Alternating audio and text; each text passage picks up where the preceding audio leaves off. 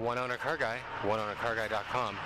And I don't know how this here will end up, but I'm gonna actually take a video to put on my one owner car guy channel because you just don't see. I don't know if it's a 71, 72 Caprice, Chevy Caprice, little handicap sticker in it.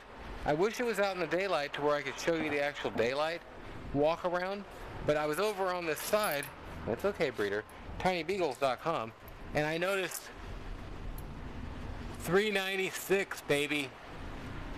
And this ain't the kind of thing that somebody adds, look at that, that's original paint. This ain't the kind of thing that somebody adds this to. This is the kind of thing that's in just great original shape. Look, the seatbelt's all chewed up, the seats are in good shape.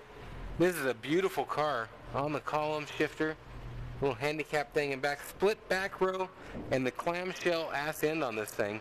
Just an absolutely beautiful car. Wow, maybe he delivers the paper or something. Delivering the paper. Clamshell roll-up window, all the trims on it. Absolutely beautiful car. You just don't see this anymore out there at all. I had a Pontiac Catalina 455.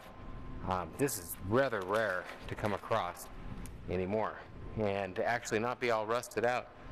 You know, it's probably been painted at some point in its life, um, but it looks to me like it's the original color from the interior shots.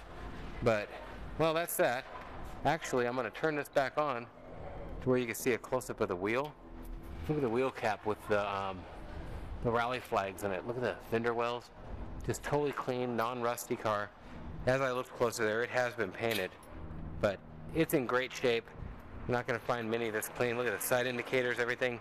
All the trim is there. Uh, beautiful car. Well, thanks for watching. Have a great day or night, whatever it is, wherever you are. I don't know, 71, 72. I don't think they put the 396 in them in 73, but that's the deal. Thanks for watching. Have a great day or night, whatever it is, wherever you are. OneOwnerCarGuy.com.